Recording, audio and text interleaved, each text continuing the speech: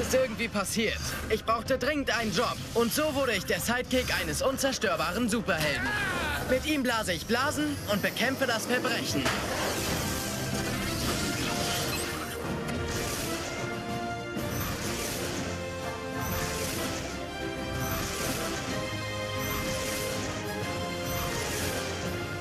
Ruf es! Auf die Röhre hoch! Oh nein, mein Stiefel!